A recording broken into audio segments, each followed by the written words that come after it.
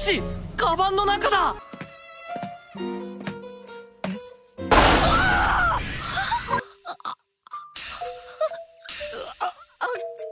ごめん。大丈夫だと思ったのか？どうしようどうしよう。いろいろ見えてしまった。が知らなくて見るつもりなんてなくて。もちろん誰にも俺も忘れるようにします。もし大丈夫なら持っていきたいんだけど。いいかな？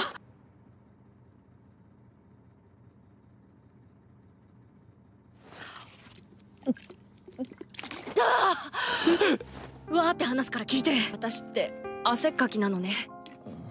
昔から汗かいてるの恥ずくて。自分に自信が持てなくなって。気がついたら周りを避けるようになっちゃってて。汗拭いてるとこ見られたりするんだよね。最悪。シスプロ？は？フラッシュシスターズプラスだよ。わかんない。えどこ？何押せばいいの？あとりあえずスティック動かして。負けた